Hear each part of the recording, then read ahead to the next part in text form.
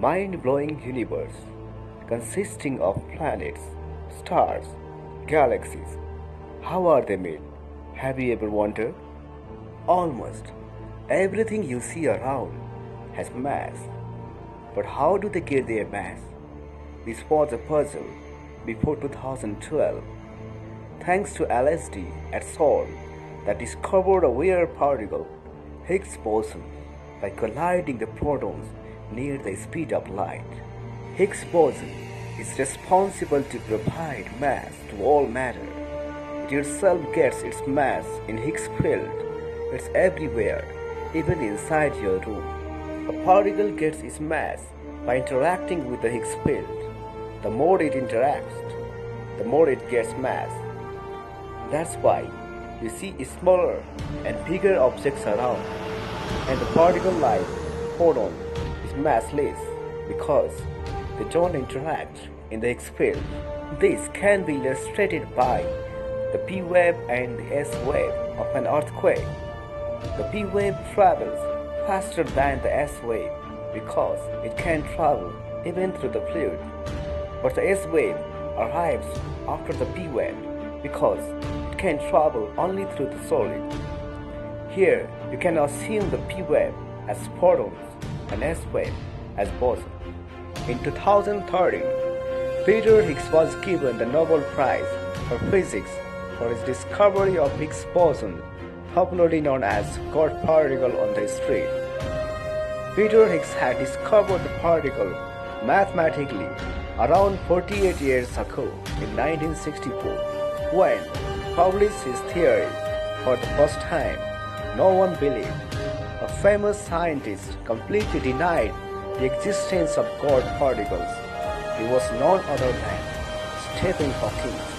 After the detections of the particles in the world's largest particle smasher, a journalist reminded it to Hawking. Hawking, in reply, said, Peter Higgs deserves the Nobel Prize. Everything you see around, liquid, solid, or air, is matter consisting of mass. This is a matter. Let's split it into two pieces. Do it again and again till you get its atom. Till 20th century, people used to believe that atom is the fundamental element of the nature. In 1986, J.J. Thomson discovered the electron. Later, in 1906, Ernest Rutherford discovered proton. And in 1932, James Chadwick discovered neutron. But it was not the end. In 1964, Murray discovered the quark, the basic building block of even proton and neutron. According to a new philosophy, even quark is not the basic block. In fact, the deepness of an atom is infinite. You can never split it into the final point. These periodic tables of elements represent the basic building blocks of the universe. In particle family, which is called the standard model, there are two brothers, fermions and boson.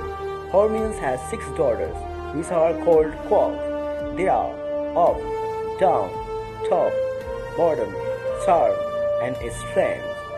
All of them work together to form nucleus consisting of protons and neutrons, and they are held by their brothers called leptons, which are electron, muon, tau, electron neutrino, muon neutrino, and tau neutrino. All of them have partners too. They aren't single. Similarly, boson brother has bosons, which are called gauge bosons. They are photons, W and Z bosons, gluon, and gravity. They have electromagnetic, weak, strong, and gravitational force, respectively. But graviton is missing in the house. Boson has one daughter, is called scalar boson. Her name is Higgs boson. She is supposed to provide food to all family members, which we call mass. In the beginning, all matter in the universe was compressed into a single point smaller than an atom, and all four fundamental forces were merged into a single supermassive force. After Big Bang, the universe began to expand exponentially. The four forces were separated. First, hydrogen was made, then helium and stars, galaxies, and all of us. Although Higgs boson completed the standard models of particle physics, can describe just 4% of the non-universe. The most 23% of the universe, which is dark matter, and 73% dark energy, which is responsible for expanding the universe and pushing celestial bodies away from each other, are still big questions in physics. Moreover, there are many unanswered questions. Why aren't the four fundamental forces of nature equally strong? Why is the universe consist of matter rather than antimatter? Scientists also want to explore the supersymmetry theory, which holds that a panoply of superparticles overlays the subatomic particle. Let's hope that the LHC would quickly make discoveries we often say new physics to understand phenomena beyond the scope of a standard model. Now, the LHC has been shut down for some years. Civil engineers are preparing for a major upgrade of the LHC, the Higgs Living City LHC.